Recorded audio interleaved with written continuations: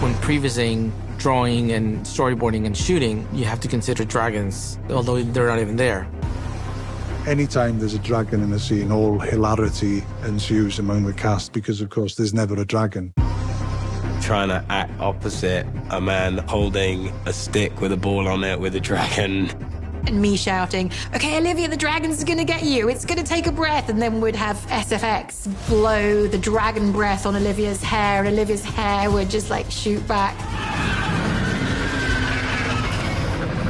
It takes every ounce of creative imagination going on inside your head for that to work.